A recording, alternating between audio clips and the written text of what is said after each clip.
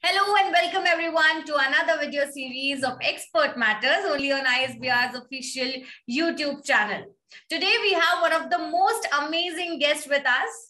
She is a passionate HR professional with more than 12 years of experience in the domain. She is absolutely amazing person who values relationships around her personally as well as professionally. She is expertise in versatile industries such as healthcare BPO, freight forwarding, retail, IT, and as a passionate HR business partner, her main focus is on impact and guidance.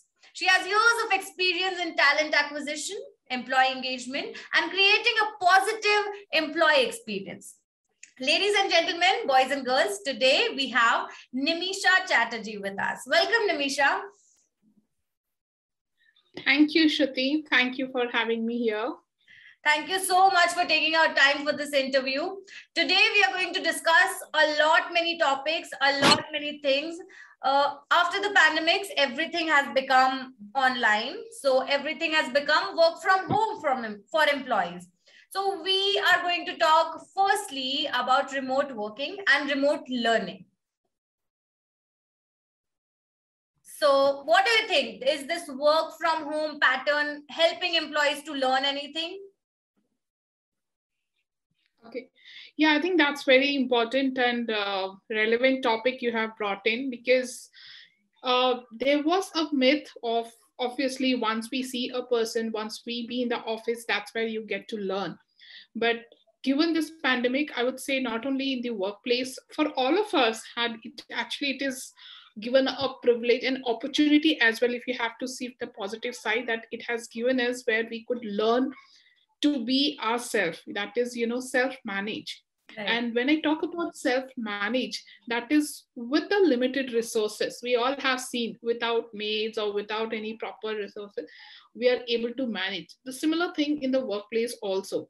So, how with the thanks to the technology, I think we all are blessed to have the technology. That's how we are able to talk to each other, whether it is in the way same city. Who would have thought that within the same city we would be talking to each other in the Zoom? right? So whatever the workplace, so that's how within the workplace as well you know we have come across the place with the technology where you all are anyways connected. It was just that we wanted um, that we wanted to be in the office. Right. but uh, yes with the situation whatever the demands we have to take it. And yes there's of course been a learning. We first of all we have learned that being at home being with the technology we could learn we have all the resources mm-hmm. provided and then you can actually manage yourself your family and your work as well. You need not have to be in the workplace but you can definitely learn and be productive. Wow. So upskilling is happening whether it is online or offline if upskilling of employee is happening absolutely so when we talk about upskilling yes as you know so it's about with the technology because as the technology is moving on right you have in the phone right you have the 1.1 version has come up and then later on you go with an, another version right. right you don't want to stick up with the latest and even if you don't know what are the new features you would be keen to know right it is right. not and sometimes there are that you would pick up a technology or you would go for it and then you will learn what is it right so similarly in the workplace also we know when the technology so it is important that you have to reskill upskill yourself that whatever the new things are coming up either you have to learn to be productive to be competitive mm-hmm. or else to make yourself better stand out because learning is a hmm. continuous process right so definitely upskilling is an important not from the workplace from the students point of view as well because you are learning new things. Probably what i've studied in hr is not what you guys are studying. So there's a different you know changes up coming up. So mm-hmm. that's very important that every phase of life we keep learning upskill ourselves.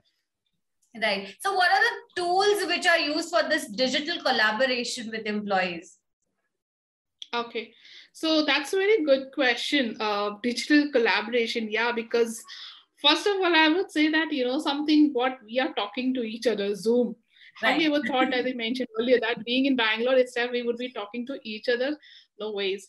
we used these collaborative tools definitely with our on-site or a global team so that's how there are certain projects there are certain teams who work together so you have office 365 you have these days google right i think most of us are aware about in the students like google form yes. or google data forms right where you update something and you, you can collaborate with teams. So similarly in microsoft office also you have teams and you have intranet folders in a particular thing.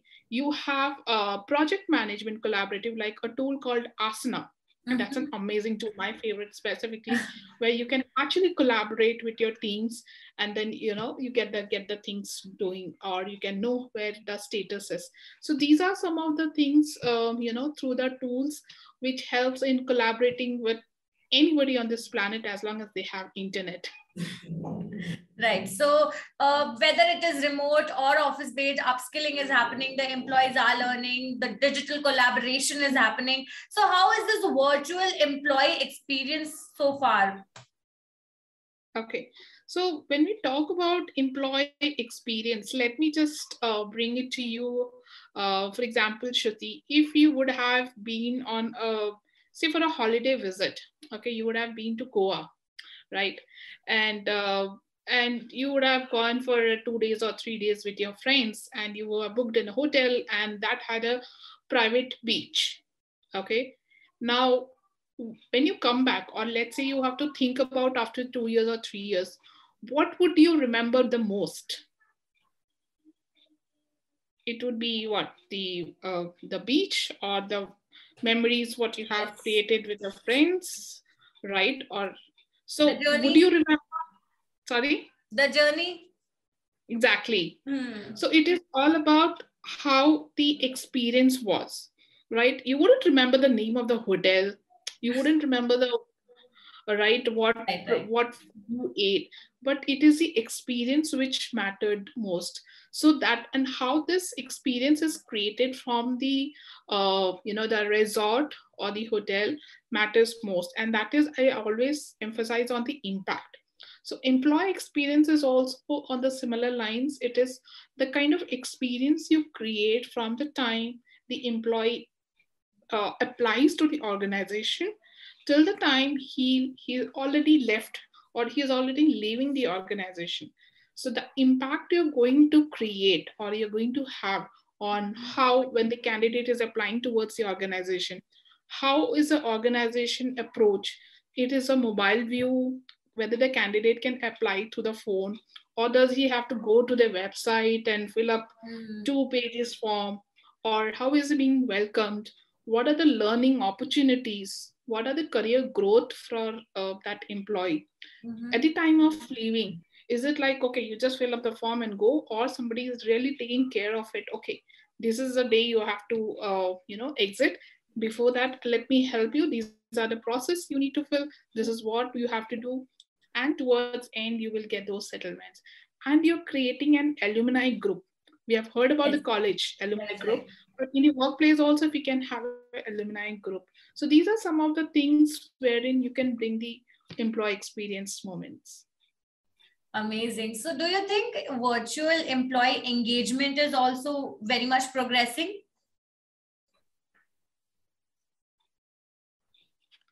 Um, your voice is breaking. You mean to say that uh, virtual employee engagement? Engagement, yes.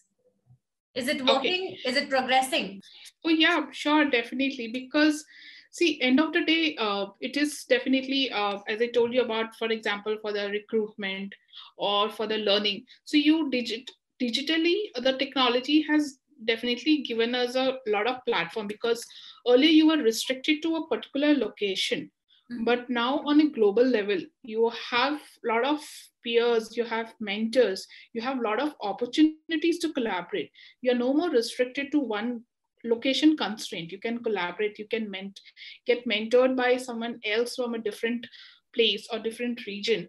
You with the help of the technology you can definitely take the guidance and you can work on a specific or a niche project.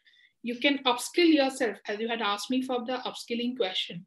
You can upskill yourself and then you can be more uh, make your usp you know be more competitive these are some of the employee engagement initiatives. And again, the best part is you can hear the voices of the employees. Like some of them what might be comfortable in talking, but with the help of technology, you can have an anonymous forms and then roll it out. These are definitely going to help. Right. So since everything has become everything has changed actually drastically with the technological development, with the remote working, work from home, all the social media and technological tools, everything has changed. The HR, the finance department, everything, marketing, we can see technological development in any field, any domain. But do you think those skills which HR used to have earlier, HR students 10 years back or five years back, say, they should have the same skills which the students the students who are studying now who are pursuing hr as their specialization now should have same set of skills which earlier students used to have uh, no, definitely no, because uh, as I said, yes, uh, you know, things are evolving. You can say whether it is evolving or getting restructured. So, of course, with the HR, we have seen how we have moved from personal to functional management to strategic, and what we have seen outside in next one. So mm-hmm. now it is more to do with how you are able to create an impact so i would say the most important um, skill or you know you need to have especially in hr you need to have a business acumen okay? Because you need to understand hr has taken a front place. Hr was always but now it is more.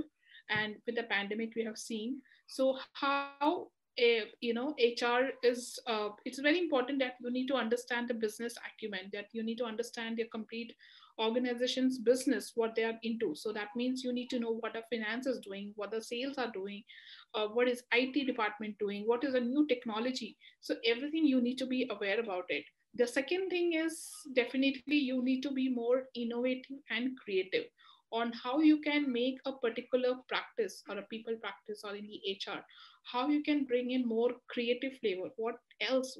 How when i say creative and innovative it is uh, basically to make you know how more productive we can uh, mm-hmm. bring in for the people. The third one is on the networking. You need to have a meaningful you know relationship. It is not just not uh, networking. It just i would say that building up the connection. You need to have meaningful relationships with within the organization outside the organization and anywhere. And the fourth one is of course you need to have you know uh, create an impact. Now that is true obviously how you are able to help someone you know being a career advancement coach i would say that you know how you are able to uh, help someone in progressing their career for someone else progressing their career. So how you can have those things are what is required in hr mm-hmm. so there are so many skills which students have to pursue, have to attain as they are growing. So, what are the top skills? You have mentioned all the skills networking, better communication, building better relationships inside and outside the organization. What are the topmost skills other than that, which every student should retain in their personal life as well? Okay.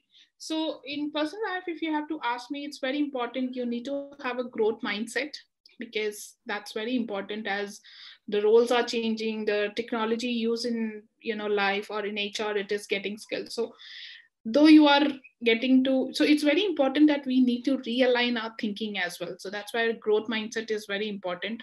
Secondly as i told you data influence or technology you need to be aware about it you know. Be nobody is asking you to code but then you should be aware what are the new technology and how it is going to help the business or the organization what you are into. So it's very important you embrace the technology uh, growth mindset which i've told you. And the third thing is how you can approach you know uh, yourself from being reactive to proactive.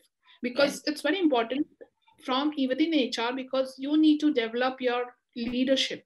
You are responsible for consolidating process you are also helping the organization to build a culture of recognition.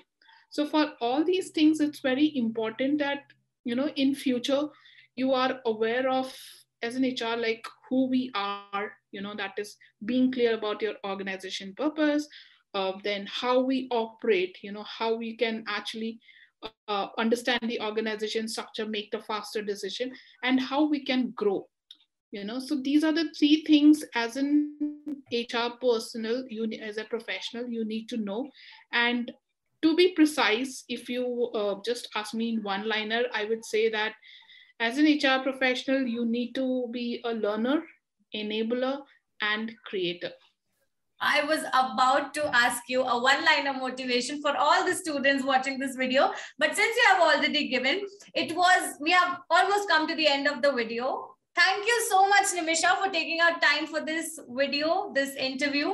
I am damn sure everybody, every management student and every other student watching this video will gain a lot many clarity, a clear, better thinking in HR and also a lot many skills to upgrade. Thank you so much for taking out time for this. Thank you. Thank you, Shruti, for having me here. And I would always uh, just give a message to all the students that embrace yourself, you know, uh, be the enjoy the process of becoming you and trust yourself, believe in yourself.